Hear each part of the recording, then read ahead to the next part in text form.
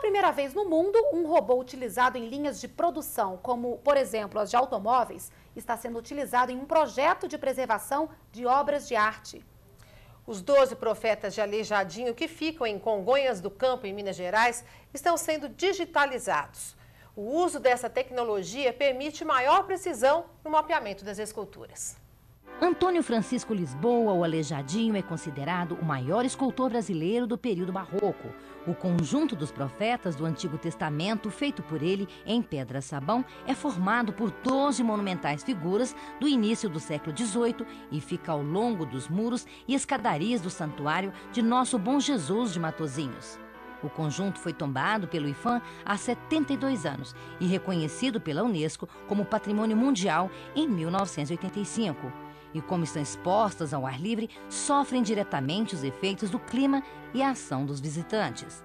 Por isso, o Instituto do Patrimônio Histórico e Artístico Nacional IFAM vai acompanhar o desgaste da obra do Aleijadinho usando uma técnica pioneira de digitalização em três dimensões e robótica. A técnica prevê recriação de réplicas digitais que vão ajudar os técnicos a monitorar o estado de conservação das esculturas. Cinco já foram digitalizadas e o processo custou 330 mil reais e está sendo financiado pela Lei Rouanet. Para preservar a história do país, nós precisamos documentar essa história do país. É, no caso de uma obra escultórica, um conjunto escultórico como esse é, de Congonhas, a documentação ela não é mais só uma documentação em desenho, não é mais uma documentação em fotografia. Há pelo avanço da tecnologia, uma possibilidade de ter uma, uma documentação que é uma documentação em três dimensões.